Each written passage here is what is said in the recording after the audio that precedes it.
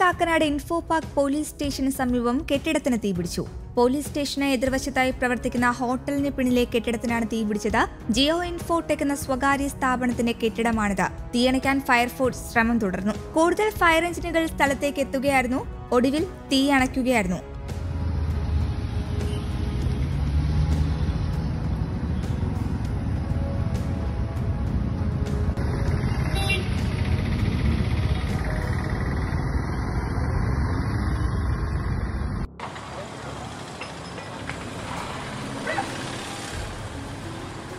Ha ha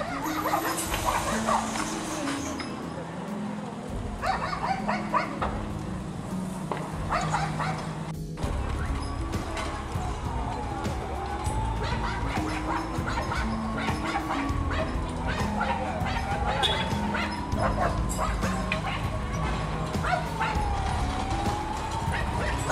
കെട്ടിടത്തിൽ നിന്ന് വലിയ തീയും പുകയും ഉയർന്നു. വൈകിട്ട് ആറു മണിയോടെയാണ് തീപിടുത്തമുണ്ടായത്. ഓഫീസിനുള്ളിൽ ആളുകൾ കുടുങ്ങിക്കിടന്നുവെന്നാണ് വിവരം. ചിലർക്ക് പൊള്ളലേക്കുകയും ചെയ്തു. ഇതിനെ തുടർന്ന് ആംബുലൻസ് സജ്ജമാക്കാൻ നിർദ്ദേശം നൽകുകയായിരുന്നു. ഓഫീസിലെ എ സികൾ പൊട്ടിത്തെറിക്കുന്നതായും തീ കൂടുതൽ ഇടത്തേക്ക് വ്യാപിക്കുകയുമായിരുന്നു. രണ്ടാം ശനിയാഴ്ച ആയതിനാൽ സ്ഥാപനത്തിൽ ജീവനക്കാർ കുറവായിരുന്നു.